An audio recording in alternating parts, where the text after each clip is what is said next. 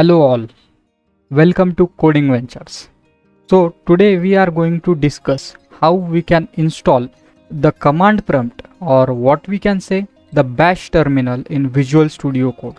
The bash terminal is very important to use because most of the time in distributed system as well as in servers we use Linux and we are more familiar with the commands of Linux rather than PowerShell or command line of Windows. So let's get started how to install Git and then we'll we see how to integrate it with your Visual Studio Code. So first of all open your favorite browser and search for Git.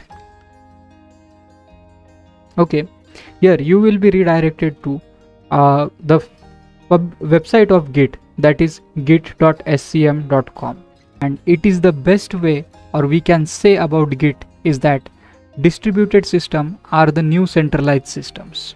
Okay? So let's click on the download for windows. Here. The various download links for windows you can see here. It's for 32-bit operating system of windows setup and 64-bit git for windows setup. So my system is 64-bit so i'm going to click on the 64-bit system. It will start downloading it will take some minutes. It's near about 50 MB uh, depending on your internet connection. So it's get downloaded. So I just right click and uh, open it. It will prompt you that it will its installation will start. So I will click on the run to start the installation. Meanwhile with Windows M I will minimize all other screens. It will prompt you do you want to install this software? Yes. Okay so installation wizard for git is here started. And git is uh, publicly licensed. It's an open source software. So here you can see it's general public license gnu so you can read terms and condition of gnu and once it is done click on the next. So it will ask you for the location where it stores the primary files or the binaries for the git. So unless and until you don't have a better reason to change it don't change it. Click on the next. It will ask this folder is already exist. Would you like to install in that folder? Okay. The git is already installed in my system. Uh, that's why it show this message. It won't uh, appear for you. So i will click yes. And it will ask me for some additional settings. So i need additional icons for desktop. And uh, i also need check the daily updates for gits or windows updates. So i also go with that. It's totally depend on you what functionalities you want. Click on the next. It will create a git folder. Click on the next. So uh, we need to install the setup by default default setup provided by git. So we are not going to change it but here we have various customizable option. You can read the documentation and do accordingly.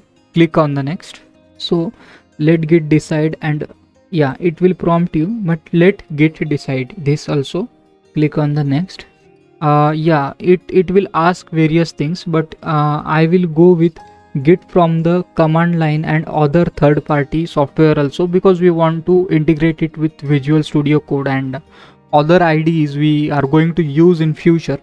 So i will go with this option. Click on the next. Okay use bundled open ssh yeah we need that. Click on the next. Use open ssl uh, library. Click on the next. Okay click on the next. You can just go with uh, clicking the next things. Okay.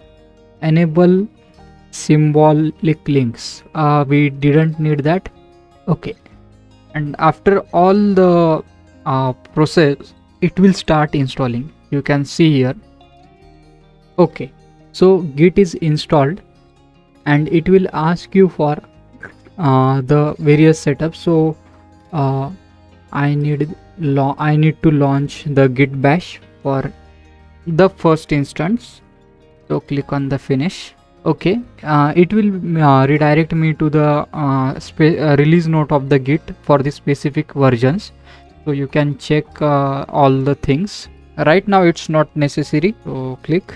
Yeah here you can see the git is installed in our system successfully. Look uh, so uh, i'm just going to change the font by control and scrolling up the mouse wheel. Okay we can do some things like linux command for listing all the files and directories in the current file is ls. So we can see what's our current directory is present working directory. You can see we are in c users and hp okay great so we are good with installation of the git okay.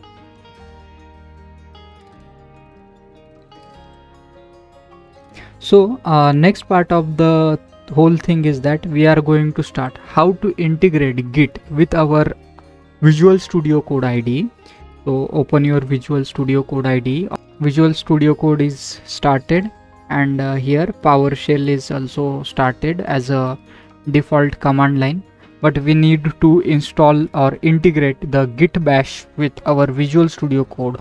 So for that click on the control shift and p for uh, command palette or opening the command palette in visual studio code. So here uh, if it is not listed here select default terminal. You can search here select default terminal. You will get this link. Click on that. And now you can see here uh, git bash is also mentioned here. So command prompt powershell yeah. I need git bash. So click on the git bash.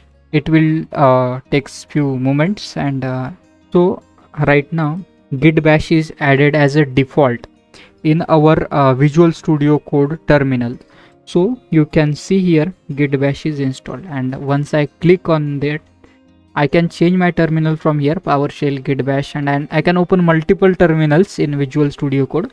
But you can see now git bash is installed in visual studio code. So you can run all the command here like ls.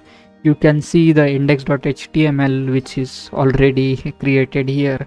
Or you can again um, like do some few commands like pwd for checking the directory. You can see the directory here or also we can create some new files like uh, touch hello.py for creating the python file. And uh, you can see hello.py is created here.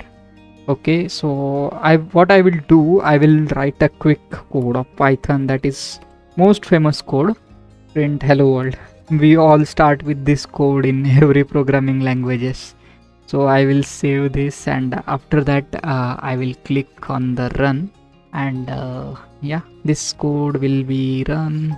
So you can see in terminal hello world is run. In our default git terminal. So okay this is all for how to integrate git terminal with your visual studio code ide thanks for watching my video. Uh, do subscribe my channel and like this video if you like uh, my content. And we will uh, be back with uh, the next video. We are planning to start a series on python. So we will work from tomorrow on python and uh, it, it will be the zero to mastery course for python. Till then happy coding. Bye bye